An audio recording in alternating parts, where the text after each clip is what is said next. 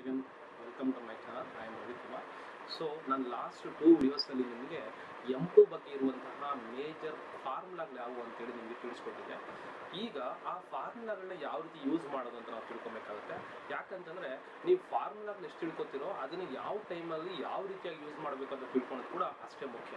So ನಿಮಗೆ in case ಈ formula for example ನಾನು ಲಾಸ್ಟ್ ವಿಡಿಯೋದಲ್ಲಿ ಹೇಳಿದ್ದೆ. You have many type of problems type one type two type three type four ಅಂತ. ಆ ಫಾರ್ಮುಲಾಗಳನ್ನ ಆ ಟೈಪ್ ಪ್ರಾಬ್ಲಮ್ಗೆ ಹೆಂಗೆ ಬಳಸಬೇಕಾಗುತ್ತೆ?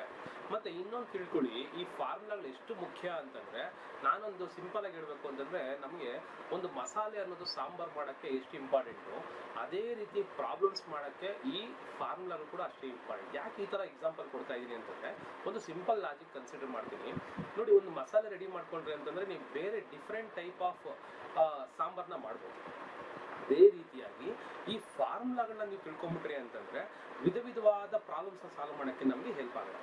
So that is what the link related to the differentiation formula so if you learn all the formulae then only you can be able to understand these problems ಈ problems ನಿಮ್ಗೆ ಅರ್ಥ ಆಗಬೇಕು ಅಂತಂದ್ರೆ ಮುಖ್ಯವಾಗಿ ನಿಮಗೆ ಫಾರ್ಮುಲಾಗಳು ಗೊತ್ತಿರಲೇಬೇಕು.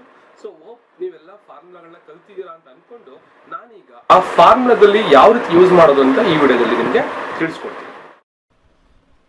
ನೋಡಿ, ಈಗ ನಾನು ಹೇಳ್ದಂಗೆ ಫಸ್ಟ್ ಕಾನ್ಸ್ಟೆಂಟ್ ನಾವು ಅರ್ಥ ಮಾಡ್ಕೋಬೇಕು. ಯಾಕೆಂದ್ರೆ ನಿಮಗೆ ಕೊಟ್ಟಿರುವಂತಹ ಡಿರವೇಟಿವ್ಸ್ ಅಲ್ಲಿ ಫಾರ್ಮುಲಾ ಯಾವುದು? ಫಸ್ಟ್ ಒಂದು constant formula derivative of a constant ನಾನು ಏನಂತ ಹೇಳಿದ್ದೀನಿ? ಇಲ್ಲಿ ಕಡೆ ಬರೀತಾ ಇದ್ದೀನಿ.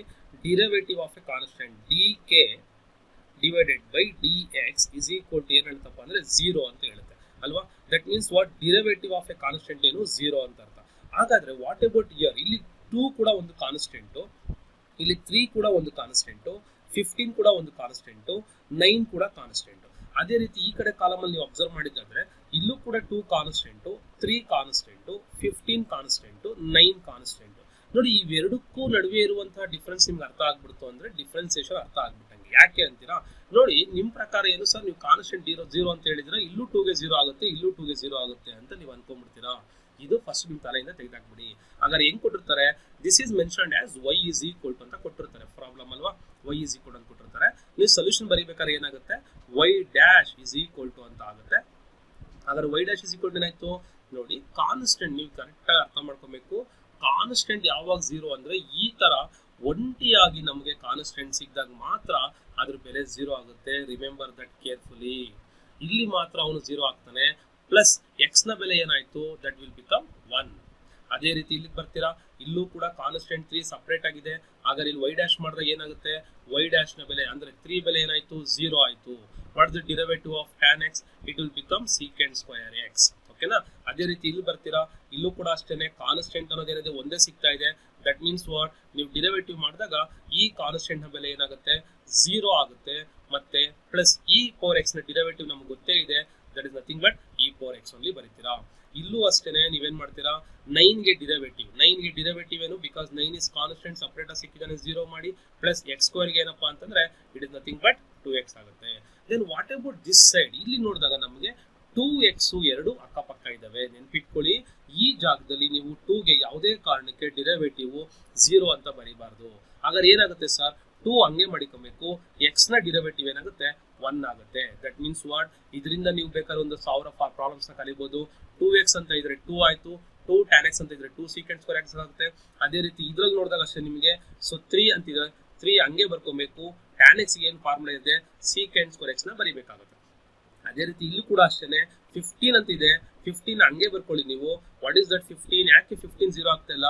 ಬಿಕಾಸ್ ಇಲ್ಲಿ ಫಿಫ್ಟೀನ್ ಕಾನ್ಸ್ಟೆಂಟು ಬಟ್ ಪಕ್ಕದಲ್ಲಿ ಒಂದು ಫಂಕ್ಷನ್ ಇದೆ. ಇಲ್ಲಿ ಫಿಫ್ಟೀನ್ ಕಾನ್ಸ್ಟೆಂಟು ಪಕ್ಕದಲ್ಲಿ ಯಾವುದೋ ಫಂಕ್ಷನ್ ಇಲ್ಲ ಪ್ಲಸ್ ಇಂದ ಸಪ್ರೇಟ್ ಆಗಿದೆ. ಇದರ ಅರ್ಥ ಏನಪ್ಪಾ ಅಂದ್ರೆ ವೆರಿ ಸಿಂಪಲ್ ಯಾವಾಗ ಕಾನ್ಸ್ಟೆಂಟ್ ಸಪ್ರೇಟ್ ಆಗಿ ನಿಮಗೆ ಸಿಗ್ತಾನೋ ಅವಾಗ ಮಾತ್ರ ಅವನ್ನ ಜೀರೋ ಮಾಡ್ಬಿಡಿ.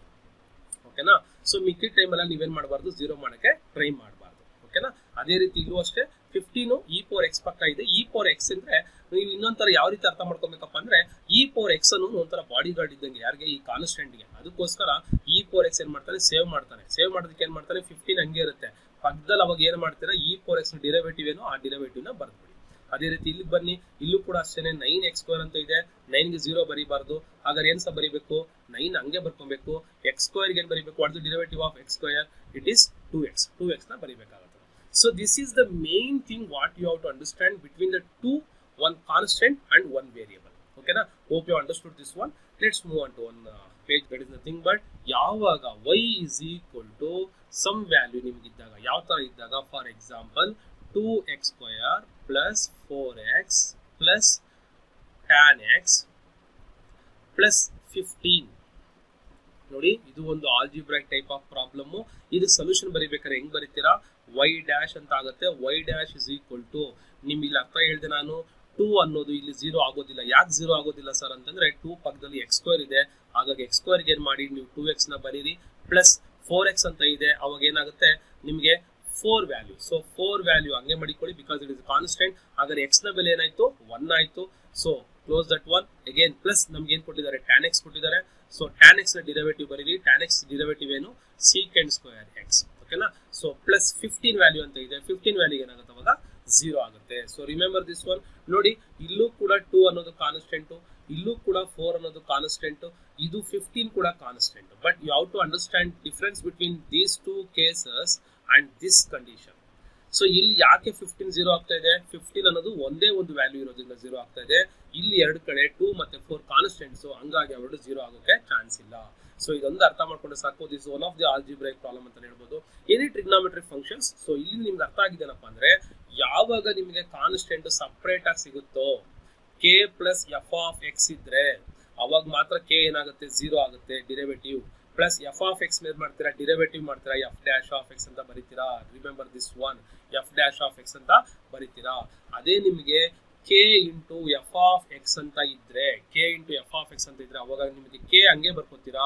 ಪಕ್ಕದಲ್ಲಿ ಎಫ್ ಡ್ಯಾಶ್ ಆಫ್ ಎಕ್ಸ್ನ ಡಿರೆವೇಟಿವ್ ಮಾಡ್ತೀರಾ? Remember this one this is what you have to understand okay so this the difference between the constant and the function okay will move on to the next one four formula ಜಾಸ್ತಿ confuse ಆಗುವಂಥದ್ದು, ಎಲ್ಲ ಮಕ್ಕಳಿಗೂ confuse ಆಗುವಂಥದ್ದು ಯಾವುದಪ್ಪ ಅಂತಂದರೆ these are the three ಯಾವುದು?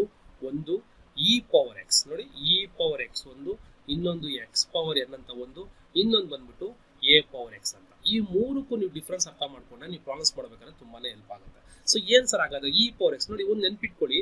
E power X ಅಂದ್ರೆ e power x this is the exponential function ಅಂತ ಕರಿತೀವಿ. ಅಂತ ಕರಿತೀವಿ ನಾವು. We will call it as exponential functions exponential ಫಂಕ್ಷನ್ಸ್ಗೆ ಬೇರೆ ಯಾವ ರೀತಿ ಚೇಂಜಸ್ ಆಗೋದೇ ಇಲ್ಲ. ಓಪೆ ಅಂಡರ್ಸ್ಟ್ಯಾಂಡಿಂಗ್ ಎಕ್ಸ್ಪೋನೆನ್ಷಿಯಲ್ ಫಂಕ್ಷನ್ಸ್ಗೆ ನಮಗೆ ಬೇರೆ ಫಾರ್ಮುಲಾ ಬರಲ್ಲ. ಇ ಪೋರ್ ಎಕ್ಸ್ ಅಂತಾನೆ ಬರುತ್ತೆ. ಇ ಪೋರ್ ಎಕ್ಸ್ ತಗೊಂಡೋಗಿ ಬೇರೆ ಫಾರ್ಮುಲಾ ಹಾಕಕ್ಕೆ ಹೋಗ್ಬೇಡಿ. ಇ ಪೋರ್ ಎಕ್ಸ್ಗೆ ನಮ್ಗೆ ಗೊತ್ತು ಡಿರವೇಟಿವ್ ಏನು? ಇ ಪೋರ್ ಎಕ್ಸ್ ಅಂತಾನೆ.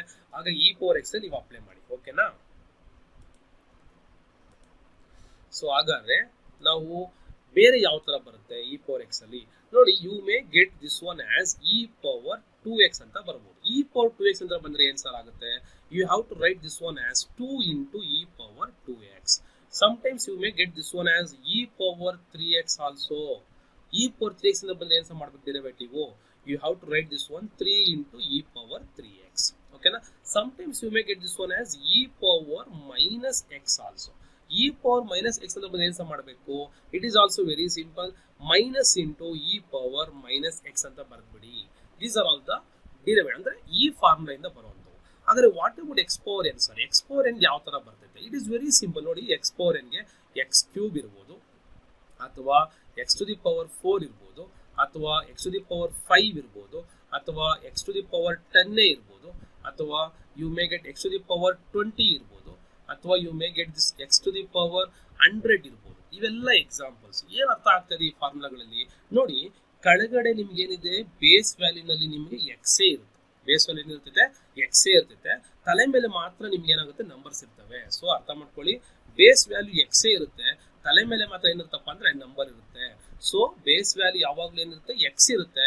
ತಲೆ ಮಾತ್ರ ಮಾತ್ರ ನಿಮ್ಗೆ ಏನಿರುತ್ತೆ ಕಾನ್ಸ್ಟೆಂಟ್ ಇರುತ್ತೆ. ಆ ತರ ಇದ್ದಾಗ ಮಾತ್ರ you have to use this formula this formula is what you already studied this formula n into x power n minus one so ಹಾಗಾದ್ರೆ ಇದು ನೋಡಿ ಸಿಂಪಲ್ ಲಾಜಿಕ್ ಎಕ್ಸ್ ಪವರ್ ಏನಂತ ಬಂದಾಗ ಕೆಳಗಡೆ ಎಕ್ಸ್ ಇರುತ್ತೆ, ತಲೆ ಮೇಲೆ ಇರುತ್ತೆ ನಂಬರ್ ಇರುತ್ತೆ. ಹಾಗಾದ್ರೆ ಅದಕ್ಕೆ ಉತ್ತರ ಏನು? ನಂಬರ್ ಬರೀಬೇಕು, ತಲೆ ಮೇಲೆ ಒಂದು ನಂಬರ್ನ ಕಡಿಮೆ ಮಾಡಬೇಕು. That means what n into x power n minus one three ಇದ್ರೆ ನಿಮ್ಗೆ ಏನಾಗುತ್ತೆ ಅದು? Three into x square so three into x square ಅಂತ ಆಗುತ್ತೆ ತ್ರೀ ಇಂಟು ಎಕ್ಸ್ ಸ್ಕ್ವಯರ್ ಅಂತ ಆಗುತ್ತೆ ವಾಟ್ ಐ ಬೇಕು ಎಕ್ಸ್ ದಿ ಪವರ್ ಫೋರ್ ಇದ್ರೆ ಏನಾಗುತ್ತೆ? Four into x the power three ಆಗುತ್ತೆ. ಅರ್ಥ ಆಗ್ತಿದ್ಯಾ? Four into x the power ಏನಾಗುತ್ತೆ? ತ್ರೀ ಆಗುತ್ತೆ. So this is what x power n ಇನ್ನು ಉಳಿದಿರೋದು ಇದನ್ನು ಕನ್ಫ್ಯೂಸ್ ಮಾಡೋಂಥದ್ದು ಯಾವುದಪ್ಪ ಅಂದ್ರೆ this is nothing but what a power x so a power ಎಕ್ಸ್ಗೂ ಇದಕ್ಕೂ ಏನು ಡಿಫ್ರೆನ್ಸು ನೋಡಿ, ಈ ಇ ಪವರ್ ಎಕ್ಸ್ನ ಒಂದು ಸೈಡ್ ಇಟ್ಕೊಡಿ. ಇವು ಇವೆರಡಕ್ಕೂ ಸಂಬಂಧ ಇಲ್ದಿರುವಂಥದ್ದು this is a different type that means what exponential there is no relation between these two formula and once again ಇವೆರಡಕ್ಕೂ ಕೂಡ ಒಂದು ರಿಲೇಷನ್ ಕೂಡ ಇಲ್ಲ. ಯಾಕಪ್ಪ ಅಂತೀರಾ? ಇದು ಎಕ್ಸ್ ತಲೆ ಮೇಲೆ ನಂಬರ್ ಬರ್ತಾ ಇದೆ. ಇದು ನಂಬರ್ನ ತಲೆ ಮೇಲೆ ಎಕ್ಸ್ ಬರ್ತಾ ಇದೆ ಯಾವ ತರ example first of all a power ಎಕ್ಸ್ಗೆ formula ಏನಂತ ತಿಳ್ಕೊಳ್ಳಿ. ನಿಮ್ಗೆ ಆಲ್ರೆಡಿ ಗೊತ್ತಿದೆ. ಎ ಪವರ್ ಎಕ್ಸ್ ಫಾರ್ಮುಲಾ ಏನಪ್ಪಾ ಅಂತಂದ್ರೆ a power x into log a power x into log a. ಹಾಗಾದ್ರೆ ಏನಿರುತ್ತೆ ಎಕ್ಸಾಂಪಲ್ಲು ಟೂ ಪವರ್ ಎಕ್ಸ್ ಇರುತ್ತೆ. ಹಾಗಾದ್ರೆ ಟೂ ಪವರ್ ಎಕ್ಸ್ ಏನು? ಟೂ ಪವರ್ ಎಕ್ಸ್ನ ಫಸ್ಟ್ ಬರೆದ್ಬಿಟ್ಟು ಪಕ್ಕದಲ್ಲಿ ಬರಿಬೇಕು. Log two. ಲಾಗ್ ಟೂ ಬರಿಬೇಕು. ಓಕೆನಾ ಅದೇ ರೀತಿ ಇಲ್ಲಿ ಕೂಡ ಏನು ಬರ್ಬೋದು? ತ್ರೀ ಪವರ್ ಎಕ್ಸ್ ಬರ್ಬೋದು. ತ್ರೀ ಪವರ್ ಎಕ್ಸ್ ಏನಾಗುತ್ತೆ? That is very simple three power x into log three ಆಗುತ್ತೆ. ಅದೇ ರೀತಿ ನಿಮ್ಗೆ ಇಲ್ಲಿ ಫೋರ್ ಪವರ್ ಎಕ್ಸ್ ಬರ್ಬೋದು. That means what you will get four power x into log four ಬರುತ್ತೆ. Log okay? ಅದಕ್ಕೂ ಮುಂಚೆ ಇಲ್ಲಿರುವಂತಹ ಮೂರು ವಿಡಿಯೋನ ನೀವು ಕರೆಕ್ಟಾಗಿ ಅರ್ಥ ಮಾಡ್ಕೊಳ್ಳಿ. ಅದು ಅರ್ಥ ಮಾಡ್ಕೊಂಡ್ಮೇಲೆ ನಾವೇನ್ ಮಾಡೋಣ? ನೆಕ್ಸ್ಟ್ ವಿಡಿಯೋಗೆ ಹೋಗೋಣ. ಓಕೆನಾ? Thank you very much for watching